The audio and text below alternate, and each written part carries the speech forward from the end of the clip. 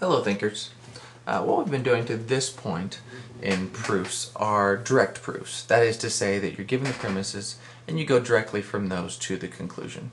Uh, there are some other methods that we can use as proofs that are indirect proofs, which means we work off of an assumption.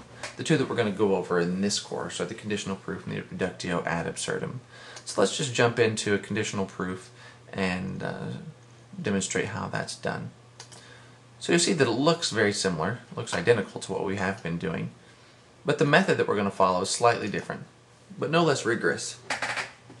What we're going to do is we're going to make an assumption up here, uh, and we're going to then work based on that assumption.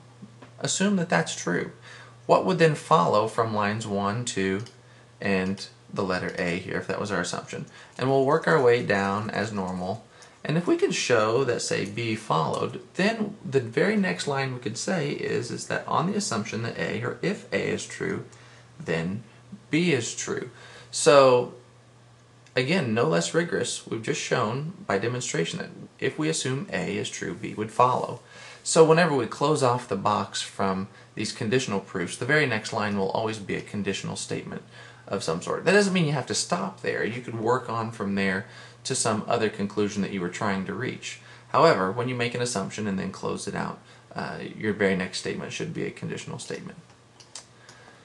Now notice that the, what we're trying to prove here in this very argument is a conditional statement, so what we could do is just assume z is true and see if we could show that x would follow.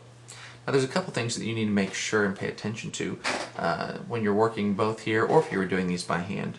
You need to always uh, express when you are and when you are not operating under an assumption. And the way that you do that is by drawing a line or a bracket to the left.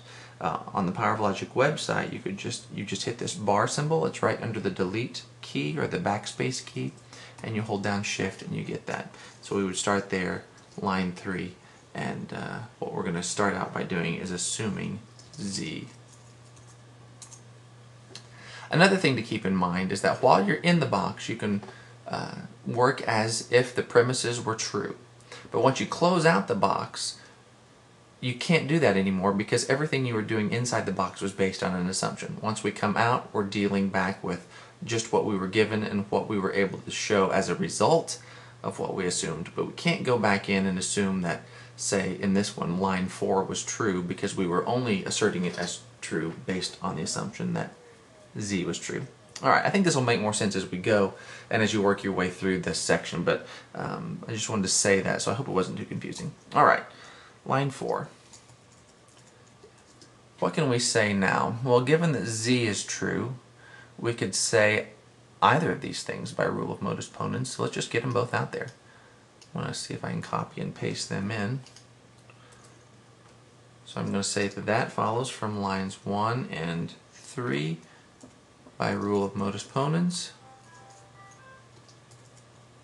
Oops, 5. I would say not y. Now by rule, or from lines 2 and 3, modus ponens. And notice now that line, I don't want the parentheses here. Now I could say in line 6 that x would follow from lines 4 and 5 by modus ponens. Alright, so not a lot of different rules to use in this one, but you can see how it worked. Uh, so now we're going to close off the box. I'm not going to make a bar here. Line 7, what can I say? I can say based on the assumption that z is true, x followed.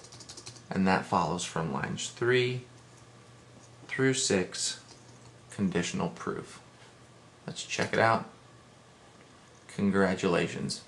Alright, as usual, I did the easy one. They'll get much more challenging from here, but this should give you the general idea.